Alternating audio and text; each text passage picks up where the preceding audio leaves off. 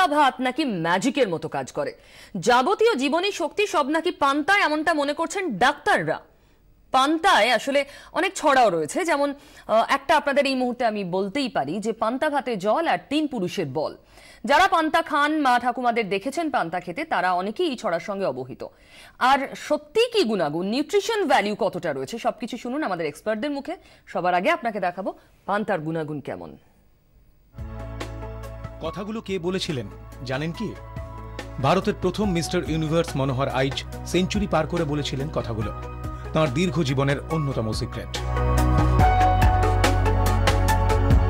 Pocket হারকিউলিসের বলিষ্ঠ শরীর আর দীর্ঘ জীবনের রহস্য তো বটেই। কিন্তু মনোহর আইচের মতো শরীর চর্চা না করেও উজ্জ্বল ত্বক আর পতলি কোমরের অধিকারিণী হতে চান? তাহলে তো পান্তা মাস্ট।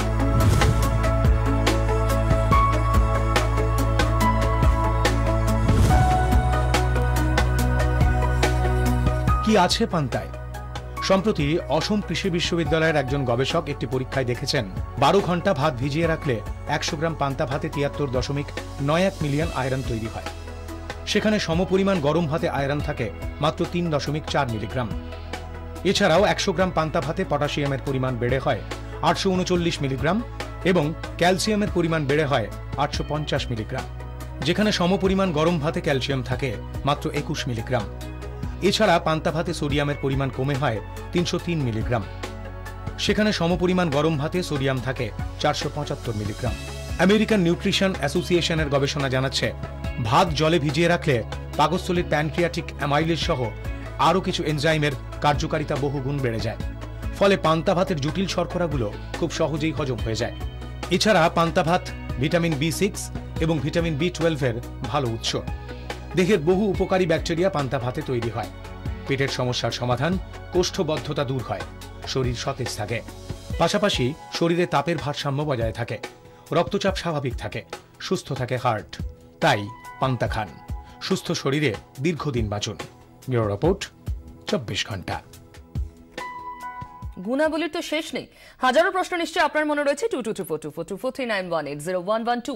এই দুটো নাম্বার রইল আমাদের এক্সপার্টদের সঙ্গে কথা বলার জন্য। আমি পরিচয় করিয়ে দিই রয়েছেন মেডিসিন বিশেষজ্ঞ ডক্টর শুদ্ধ সত্য চ্যাটার্জি। এছাড়াও আমার সঙ্গে রয়েছেন নিউট্রিশনিস্ট অরিত্র খা। আমি প্রথমে ডক্টর চ্যাটার্জির কাছে আসব। পান্তা ভাত নিয়ে কোনোদিন মাথাই ঘামায় না এই জেনারেশন হয়তো অনেকে খায়ও নি, কখনো টেস্টও করেন। সেই পান্তায় নাকি পাতলা কোমর সম্ভব? কি করে? না সবার আগে একটা জিনিস বলতে হবে সেটা হচ্ছে যাদের ভাত খাওয়া মানা তাদের পান্তা ভাত খাওয়া মানা। পান্তা ভাতও মানায়? হ্যাঁ মানে যেমন ধরুন একটা ডায়াবেটিক পেশেন্ট যাকে ভাত আমরা কম খেতে বলি তাকে পান্তা ভাতও কম খেতে বলব। একটা অ্যাডভান্টেজ রয়েছে ব্লাড প্রেশারের ক্ষেত্রে যেহেতু সোডিয়ামটা কমে যাচ্ছে। যেটা বুঝতে হবে সেটা হচ্ছে এমনি ভাতের মধ্যে একটা ফাইটেড বলে একটা পদার্থ থাকে। সেটা প্রত্যেকটা মাইক্রোনিউট্রিয়েন্টস আর ম্যাক্রোনিউট্রিয়েন্টসকে অ্যান্টাগোনাইজ করে যার ফলে ক্যালসিয়াম পটাশিয়াম তারপর আয়রন আয়রন এগুলো কম মাত্রায় থাকে একটা সদ্য সেদ্ধ ভাতে। কিন্তু যখন এটা জলে ভিজিয়ে কিছুক্ষণ রাখা হয় তাতে ল্যাক্টোব্যাসিলাস আসার জন্য ফাইটেটটা কমে যায়। ফাইটেটটা নষ্ট হয়ে যেতে এগুলো আনবাউন্ড ফর্মে চলে আসে তখন মানে এই ভেজা ভাতে কিন্তু সেগুলোর পরিমাণ বেড়ে যায়। তো এতে মাইক্রোনিউট্রিয়েন্ট এবং ম্যাক্রোনিউট্রিয়েন্টের কদর বাড়ছে। পান্তা ভাতে। এবং যাদের এই জিনিসগুলোর প্রয়োজন আছে যেমনি পটাশিয়ামের এই ফসফরাস পটাশিয়াম এদের প্রচণ্ড প্রয়োজন হচ্ছে বোন গ্রোথের জন্য। বোনস টিথ হেয়ার স্কিন এগুলো সমস্ত খুব ইম্পর্টেন্ট ইস্যুস তার মানে চুল ভালো রাখতে ত্বক ভালো রাখতে পান্তা ভাতের হ্যাঁ জুড়ি নেই। হ্যাঁ চুল এবং ত্বক এই দুটোতে কিন্তু ভাতের ফ্যান বহুদিন ধরে ব্যবহার হয়ে আসছে। ভাতের ফ্যান কিন্তু শ্যাম্পু হিসেবে ইউজ করা হয় বিভিন্ন জায়গায়। আচ্ছা। বিশেষ করে যারা মানে শ্যাম্পু কেনার মতো আগে আর্থিক অবস্থা ছিল না তারা কিন্তু ভাতের ফ্যান দিয়ে শ্যাম্পু ব্যবহার করতো। স্কিনের ক্ষেত্রে প্রয়োজন আমি আবার আসব আর অনেক কিছু জানার আছে তার আগে টেলিফোনে কেউ রয়েছেন বলুন। হ্যালো? হ্যাঁ। আমার নাম মানস চক্রবর্তী। হুম। আমি হাওড়া থেকে বলছি সালকিয়া হাওড়া থেকে। বলুন বলুন। আমার একটাই খালি প্রশ্ন যে ভাত খেতে গেলে তো একটু নুন দিতে হয়। তা হাই প্রেশার আছে আমার এই হাই প্রেশারে কি নুন দিয়ে পান্তা ভাতটা খাওয়া যুক্তিযুক্ত হবে? এটাই আমার প্রশ্ন। ধন্যবাদ শুনতে থাকুন। আর কে আছেন? হ্যালো আমি কাকলি রায় বলছি ইছাপুর থেকে। হ্যাঁ। বলছি আমার সুগার আছে আমার হাই সুগার প্রেশার দুটোই আছে কোলেস্ট্রলও আছে। আমার প্রশ্ন হচ্ছে হ্যালো আমরা শুনছি বলুন। হ্যাঁ আমার প্রশ্ন হচ্ছে যে লবণ যথেষ্ট পরিমাণে পান্তা ভাতে লাগে এবং পেঁয়াজ দিয়ে ভীষণ ভালোও লাগে। আমার মাকেও দেখেছি খেতে কিন্তু আমার পক্ষে কি সেটা ভালো হবে? ধন্যবাদ শুনতে থাকুন। মূলত একই প্রশ্ন দুজনেরই। আমি অরিত্র থেকে জানব। হ্যাঁ যেটা হচ্ছে দুটো কোয়েশ্চেন থাকছে। একটা থাকছে যে পান্তা ভাত হাই প্রেসারে খাওয়া যাবে কিনা বা হাই প্রেসারে পান্তা ভাত অনেক বেশি লাগে অনেক বেশি দিয়ে আর কি। তো আমি বলব যখন কারোর হাই ব্লাড প্রেশার আছে ব্লাড প্রেশার কত আছে জেনে সেই মতো আমার সোডিয়াম ক্লোরাইড বা এনএসিল ইনটেক করা উচিত। সুতরাং পান্তা ভাত খেলে মানে পান্তা ভাত শুধু খাওয়া ঠিক আছে কিন্তু তার সঙ্গে অতিরিক্ত নুন দিয়ে খাওয়ার কোনো দরকার নেই।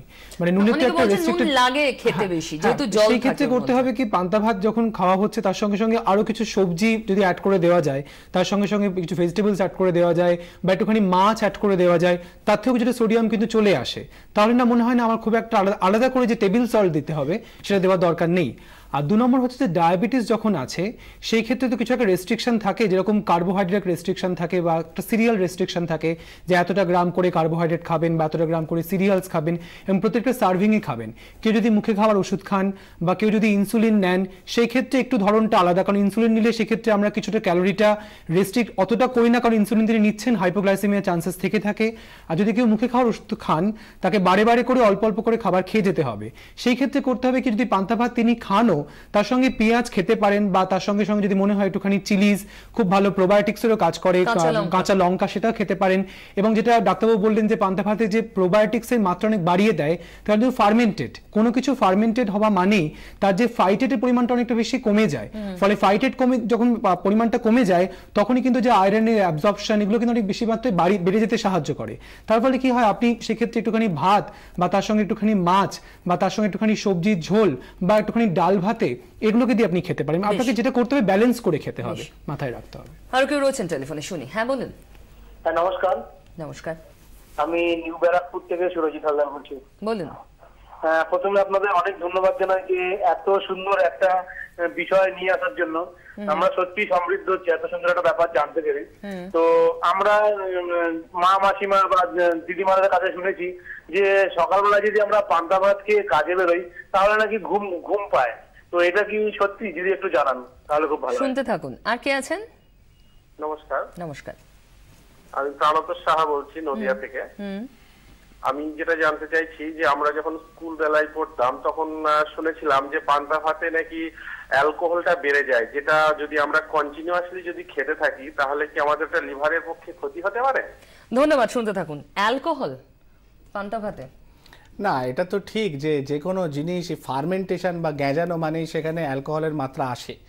তবে হ্যাঁ সেকেন্ড যিনি প্রশ্ন করলেন তাকে বলল সেই মাত্রাটা এতটা বেশি না তাহলে কিন্তু অনেক ভাত খেতে হবে। এক কেজি দু কেজি ভাত খেতে হবে কাউকে সেই জায়গায় পৌঁছতে গেলে। রোজ খেলে কি সেটা ক্ষতি হবে? না রোজ খেলে সেই পরিমাণ থাকে না কারণ আমাদের লিভারের যথেষ্ট সহ্য ক্ষমতা আছে।